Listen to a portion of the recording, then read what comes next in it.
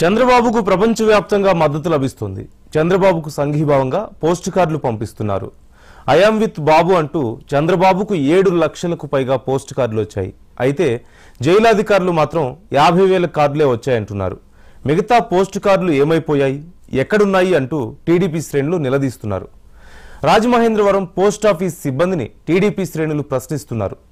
ఎన్ని కుట్రలు చేసినా చంద్రబాబుకు మద్దతు పెరుగుతూనే ఉంటుంది అంటున్న Rajanagaram TDP incharge Buddi Venkataramana Chowdary Anaparthi MLA రామకృష్ణారెడ్డితో ఓ ప్రతినిధి సతీష్ మరిన్ని వివరాలు అందిస్తారు. బాబు అక్రమ కేసు అరెస్టుకు నిరసనగా కూడా దేశవ్యాప్తంగా ఎక్కడికక్కడ కూడా ఇప్పటికే నిరసన కార్యక్రమాలు చేపడుతున్న నేపథ్యంలో ముఖ్యంగా రాజమహేంద్రవరం సెంట్రల్ జైలుకి అయితే ఐఎం విత్ బాబు అని చెప్పేసి అని కూడా బాబుకు సపోర్టర్గా చాలా వరకు పోస్ట్ కార్డు అయితే మాత్రం పంపించింది. దాదాపు ఇప్పటికి ఉదయం నుంచి కూడా చూసుకున్నట్టయితే మాత్రం అనేక మాధ్యమాల్లో కూడా మనం చూస్తున్నాం. దాదాపు ఏడు లక్షల వరకు కూడా లోపలికి ఈ పోస్ట్ కార్డులు పంపించినట్టు కూడా మనకు తెలుస్తుంది అయితే దీనికి సంబంధించి నిజంగా పోస్ట్ కార్డులు ఎన్ని వెళ్ళి నిజంగా వెళ్తే కనుక అధికారులు లోపల ఏం చేశారు? వాటిని వాటికి సంబంధించి ఎటువంటి ఎవరికి అప్పగించారని చెప్పేసి కూడా ఎటువంటి ఆధారాలు కూడా కనీసం వాళ్ళు వెల్లడించిన పరిస్థితి దీనిపైనే ఈరోజు రాజమహేంద్రవరం సంబంధించి ఇక్కడ దానవపేట పోస్ట్ ఆఫీస్ దగ్గర బొడ్డు వెంకటరామ చౌదరి గారు అలాగే మరోపక్క ఆ, రామకృష్ణ గారు ఇద్దరు కూడా నిరసన కార్యక్రమం కూడా చేపట్టడం జరిగింది. సార్ చెప్పండి ముఖ్యంగా ఏడు లక్షలు అంటే మామూలు సామాన్య విషయం కాదు. అంటే ఏడు అవ్వచ్చు లేదా ఐదు అవ్వచ్చు నాలుగు అన్ని లక్షల కార్డులు అంటే సామాన్య విషయం కాదు. అంతమంది ప్రజలు ఎక్కడెక్కడి నుంచో కూడా పోస్ట్ కార్డులు నిజంగా ఐఎం విత్ బాబు అని చెప్పేసి పంపించారంటే అది నిజంగా మనం మామూలు విషయంగా లెక్కేసిన అవసరం కానీ ఇప్పుడు అది అన్ని లోపలికి వెళ్ళిన తర్వాత అక్కడ అధికారులు జైలు అధికారులు కావచ్చు అవి ఏమేమి నిజంగా బాబుకి చేరినాయి? లేకపోతే ఎన్ని వచ్చినాయి కనీసం వెల్లడించవలసిన అవకాశం జైలు అధికారులకు ఉంది. వాళ్ళు ఇప్పుడు వచ్చి కూడా కనీసం ఒక మాట కూడా మెదమని పరిస్థితి నెలకొంది. అసలు ఈ రోజు మీరు దానికి సంబంధించి నిరసన కార్యక్రమం చేపట్టడానికి గల కారణం ఏంటి? అసలు విషయం ఏంటి? అంటే బాబు గారు అక్రమ అరెస్టు గురించి ఒక పక్కన ఈ ప్రభుత్వంపై వ్యతిరేకత ఉంది.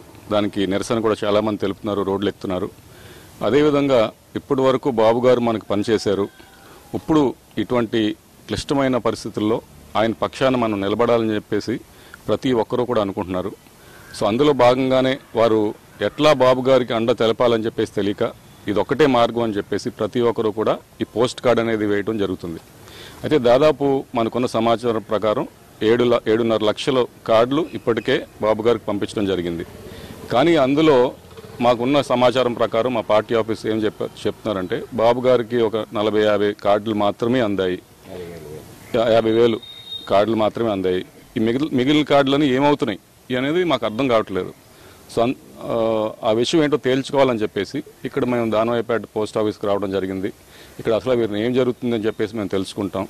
ఆ తర్వాత డిఐజీ గారికి కూడా కాల్ చేసి అసలు ఏం ఈ కార్డులన్నీ ఏమవుతున్నాయి? మీరు ఎందుకు ఇవ్వట్లేదు బాబు గారికి అని చెప్పి. ఏంటంటే ఈ పోస్ట్ ఆఫీస్ సంబంధించి కూడా ఇప్పుడు మీరు వచ్చారు. అది పోస్ట్ ఆఫీసర్ వెయిట్ చేస్తారు. ఇంకా వాళ్ళు వచ్చిన ఎవరు కూడా వచ్చినట్టు సమ- సమాచారం అయితే తెలియదు.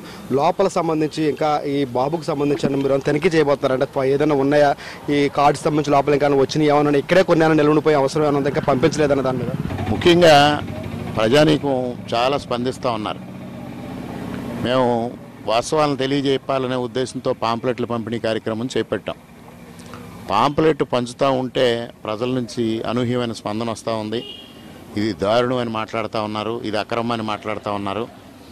రెండు మూడు రోజులు ఈ కార్యక్రమం చేపట్టిన తర్వాత ఈ పాంప్లెట్ల పంపిణీకి అనూహ్యమైన స్పందన వస్తూ ఉందని నిన్నటి నుంచి పోలీసు అధికారులు పాంప్లెట్ల పంపిణీ కార్యక్రమం కూడా నిలుపుదల చేయాలని ఫోన్లు చేయడం జరుగుతూ ఉంది. నిన్నటి రోజు నాకు ఫోన్ చేశారు పాంప్లెట్ల పంపిణీ ఆపండి అని ఏ కారణంతో ఏ ఏ చట్టం ప్రకారంగా మీరు ఆపమని అడుగుతున్నారు అని అంటే నాకు లిఖితపూర్వకంగా ఇవ్వండి అప్పుడు దానిపైన నేను మాట్లాడతాను అంటే నిన్నటి నుంచి మరలా స్పందన లేదు. ఆ విధంగా సప్రెస్ చేయాలని ప్రయత్నం చేస్తా ఉన్నారు. బాబు గారికి వస్తున్న ప్రజాదరణని సప్రెస్ చేయాలనే ఆలోచనతోనే ఇటువంటి కుట్ల ప్రయత్నాలు జరుగుతూ ఉన్నాయి. ఏంటంటే ముఖ్యంగా ఇక్కడ ఒక అభ్యర్థి వచ్చింది దాదాపు సెంట్రల్ జైలు. సెంట్రల్ జైలు అనేది నూట యాభై సంవత్సరాలు గల సెంట్రల్ జైలు ఇప్పుడు.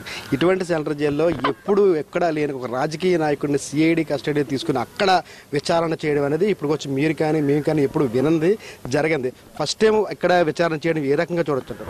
అసలు ఆంధ్రప్రదేశ్ రాష్ట్రంలో మొట్టమొదటిసారిగా ఇంత సుదీర్ఘమైన చరిత్రను రాజకీయ నాయకుని అరెస్ట్ చేయడం అనేదే మొట్టమొదటి దారుణమైన సంఘటన.